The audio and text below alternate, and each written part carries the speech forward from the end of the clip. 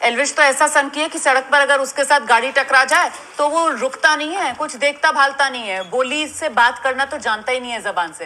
वो तो सीधे गाड़ी से उतरेगा अपनी एसयूवी से और आकर ठोक देगा। हेलो गाइस तो गाइस एलवी यादव के सपोर्टर्स भड़के हैं मीडिया वालों पर। जी हाँ दोस्तों एलवी यादव की फैमिली उनके माता पिता का इंटरव्यू आया था एबीपी न्यूज़ चैनल पर और आज तक पर। और वहाँ पर न्यूज़ वालों ने मीडिया वालों ने जिस तरह से एलवी यादव को गुनहगार साबित करने की और एलवी यादव के माता पिता को रुलाने की, उनको फंसाने की ऐसी बातें की हैं जिसको देख करके आम जनता और एलवी यादव के जो भी सपोर्टर हैं, वो बहुत ही बुरी तरीके से भड़के हैं और सोशल मीडिया पर मीडिया वालों को उल्टी सीधी बातें कह रहे हैं। जी हाँ दोस्तों, यहाँ पर आप लोग कुछ स्क्रीनशॉट देख सकते हो जहाँ पर ट्विटर पर बहुत सारे लोग मीडिया वालों को ट्रोल कर रहे हैं। जिस तरह से वो इंटरव्यू ले रहे थे, जिस तरह से एलवी यादव के माता पिता से बातें कर रहे थे, उसको लेकर काफ़ी लोगों ने सवाल खड़े किए हैं कि आखिर मीडिया वाले इतना कैसे गिर सकते हैं? आखिर ये मीडिया वाले बिना कोई सबूत के, बिना कोई प्रूफ के आखिर किसी को गुनहगार किस तरह साबित कर सकते हैं। यहाँ पर दोस्तों, लक्ष्य चौधरी ने भी इस पर अपना गुस्सा दिखाया है और उन्होंने ट्विटर पे ट्वीट किया था। उसके अलावा यहाँ पर कीर्ति मेहरा ने भी ट्वीट किया था, लव कटारे ने भी किया था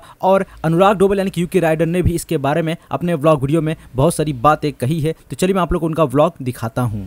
एलविश तो ऐसा सन है कि सड़क पर अगर उसके साथ गाड़ी टकरा जाए तो वो रुकता नहीं है, कुछ देखता भालता नहीं है। बोली से बात करना तो जानता ही नहीं है जबान से।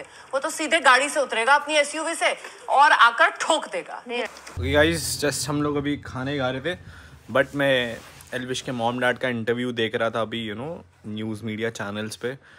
भाई कांट रियली टेल यू कि वो किस फेस से गुजर रहे हैं नो जिन क्वेश्चंस का उनको सामना करना पड़ रहा है। कांट रियली टेल यू मैं ना बहुत मेरे को ऐसा इमोशनल सा हो गया उनके घर वालों को देख करके भाई अंकल आंटी बहुत सीधे परिवार से बहुत सीधी जगह से ठीक है एक पॉइंट के लिए मान भी लो कि एलविश ने गलती कर दी। बट अभी अगर बट अगर ये सारी चीज़ें साबित नहीं हो पाई या फिर यू you नो know, जितने भी एलिगेशन उस पर लगे हैं वो फेक बताए गए तो फिर क्या?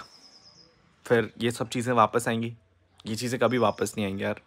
वहीं दोस्तों, एलवी यादव के फादर ने इंटरव्यू में ये तक कह दिया कि वो एलवी यादव से जेल में मिल के आए हैं और वहाँ पर जाकर के उन्होंने एलवी यादव से पूछा था, क्या तुमने कोई जुर्म कबूल किया है? तो वहाँ पर एलवी यादव ने कहा कि, नहीं, मैंने कोई जुर्म कबूल नहीं किया है। मुझसे तो ज़्यादा पूछताछ ही नहीं हुई है। बस मेरा मेडिकल हुआ था, उसके बाद मुझे यहाँ पर बंद कर दिया गया है। यहाँ पर दोस्तों, ये सारी बातें जानने के बाद अब एलवी यादव के फैंस और उनके जो सपोर्टर हैं, वो काफ़ी सोशल मीडिया पर अपना गुस्सा दिखा रहे हैं, मीडिया को लेकर के और पुलिस को लेकर के और वो सोशल मीडिया पर हैशटैग वगैरह चला रहे हैं कि वो एलवी यादव के साथ है। एलवी यादव को सपोर्ट कर रहे हैं, चाहे कुछ भी हो, एलवी यादव को इंसाफ मिलना चाहिए। तो वैसे था पूरा मैटर जो मैंने आप लोग को बता दिया सोशल मीडिया पर क्या चल रहा है एलवी यादव के इस मैटर को लेकर के। बाकी इस पर आप लोग का क्या रिएक्शन है? आप लोग एलवी यादव को लेकर क्या कहना चाहोगे? क्या आप लोग एलवी यादव को सपोर्ट करते हो या नहीं करते हो? आप लोग आपकी राय हमें कमेंट्स में ज़रूर बताइएगा।